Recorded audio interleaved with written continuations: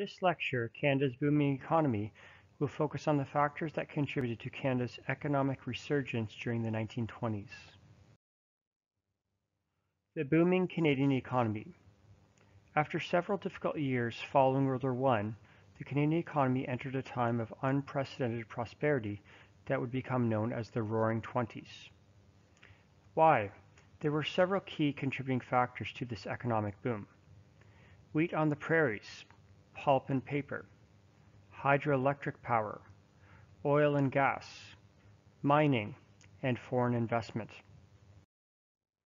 Wheat on the prairies. From 1925 to 1929, the prairie provinces enjoyed huge wheat crops. Recovering Europe could now afford to buy Canadian wheat, so there was high demand for the product. With the extra profits, farmers bought more mechanized farm equipment and created wheat pools and cooperatives. Pulp and paper. Giant American newspaper companies needed pulp in order to create paper. As a result, across the country, the Canadian forest industry thrived. On the downside, many forests were clear-cut.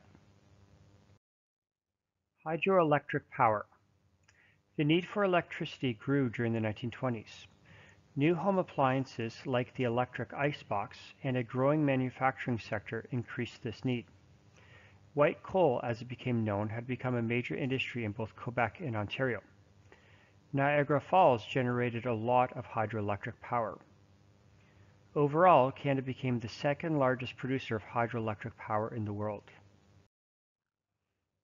Oil and gas. Automobiles created a great demand for oil and gas. The search for black gold was on. In 1924, Turner Valley, Alberta struck it rich. The Alberta oil industry had begun. Mining. Rich deposits of copper, nickel, lead, and zinc were found across the Canadian Shield during the 1920s. There is greater demand for metals in the manufacturing industry as a result of automobiles. In addition, new technological advancements in mining machinery allowed companies to better access the resources. Some of the most notable mines were in Sudbury, Flin Flon, Kimberley, and Noranda.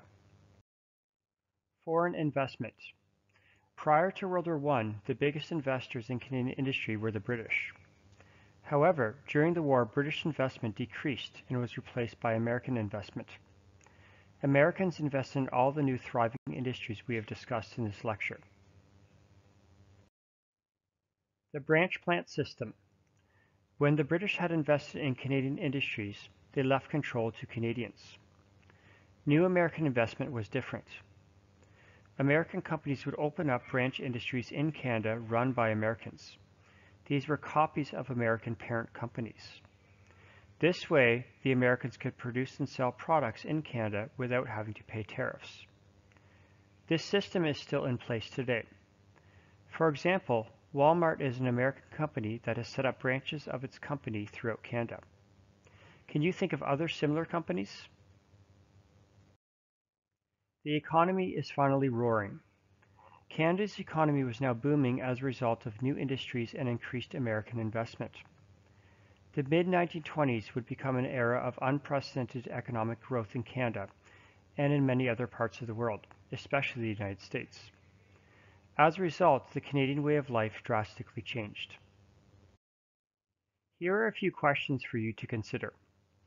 Make up a list of positives and negatives associated with American investment. Should Canada continue to allow American investment in Canada?